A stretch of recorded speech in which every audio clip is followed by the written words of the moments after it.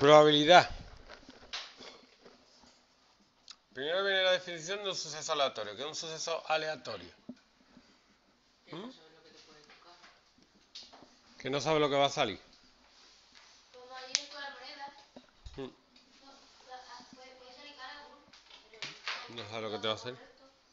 O un dado. No sabe lo que te va a salir. Una bolsa. No sé cuánto. No sabe cuál va a sacar si no mira. Probabilidad.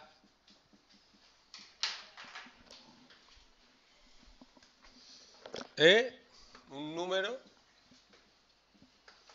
que indica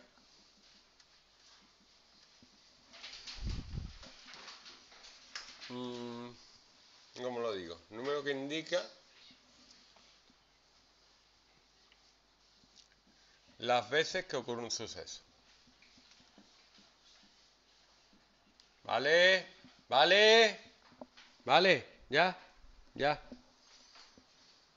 Entonces, si yo tiro una moneda, me puede salir cara o cruz. ¿Cuál es la probabilidad de que salga cara? Pues yo tiro una moneda mil veces. ¿Cuántas? De esas tú más o menos van a salir cara. 150. La mitad. 500. La probabilidad de que salga cara es la mitad, 0,5. La mitad de las veces va a salir cara y la otra mitad, aproximadamente, poneros en vuestra casa y tirar una moneda mil veces. Os va a salir 491, 500 es otra. ¿Qué? Me me Estoy explicando, que yo.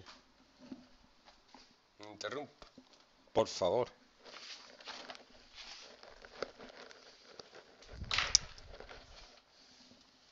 Yo tengo una urna con